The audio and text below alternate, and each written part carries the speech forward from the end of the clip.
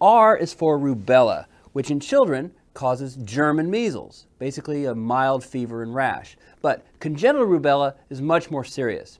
Congenital rubella causes cataracts, patent ductus arteriosus, and sensory neural deafness. Another classic finding in congenital rubella is the blueberry muffin rash, although this can be seen in other conditions.